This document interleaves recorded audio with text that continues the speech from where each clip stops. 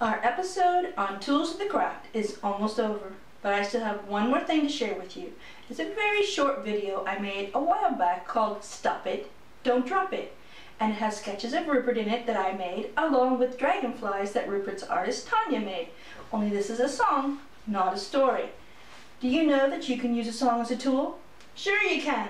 Songs can help you to celebrate or to raise energy or to even remember things. And that's what this song is for, to help you and everyone who hears it to remember to pick up the litter and trash you find laying on the ground, even if you're not the one who put it there.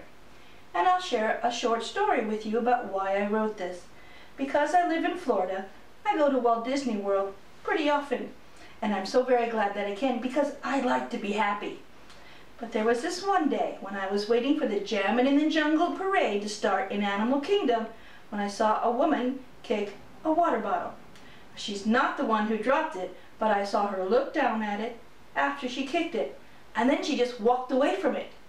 Well, I didn't like that one little bit, so I walked over to pick it up, but before I could get there, two other people had kicked it, looked at it, and walked away from it. Now, I don't know about you, but this is the only planet I'm probably going to live on in this lifetime, and I want to keep it as clean and healthy as I can. It has to last a very long time, you know. And when I see people just kicking garbage around or pretending not like they didn't see it, then I don't feel so very good about that because I want everyone to feel the same way that I do and to help keep our planet clean. So now you know why I wrote this song. It's called Stop It, Don't Drop It. And here it is.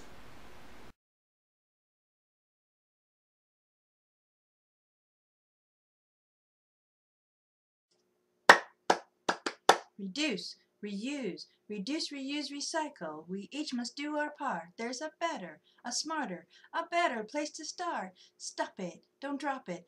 Think and be smart. Stop it, don't drop it. You gotta do your part. You've got it in your hand. So now what will you do?